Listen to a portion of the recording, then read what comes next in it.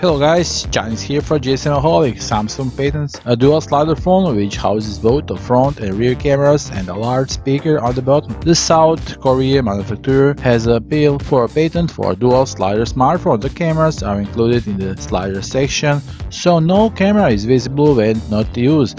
Uh, we believe this is a new Samsung Galaxy A82 dual slider smartphone. These concept renders were created by industrial designer Sarang Sheth for Let's Digital.